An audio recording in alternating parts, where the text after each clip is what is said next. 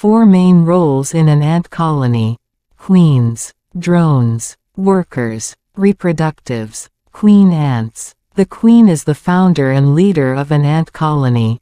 She will always have a pair of wings and is typically much larger than any other ant in the colony. The queen is why ants build their nests so deep. Her chamber is located deep underground to protect her from predators better. The queen ant's primary purpose is to lay eggs and continue to populate the colony. Drone ants. Drone ants have one function and one function only, to reproduce with the queen. Drones are male ants that rarely leave the colony. They die after mating with the queen.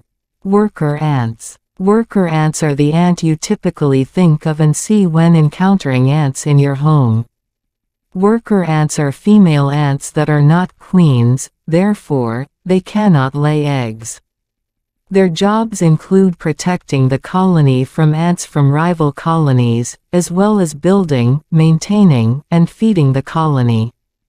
Reproductive ants. Sometimes, the queen will lay eggs that hatch into winged ants. These ants can be both male and female, and their purpose is to leave the nest and establish new colonies.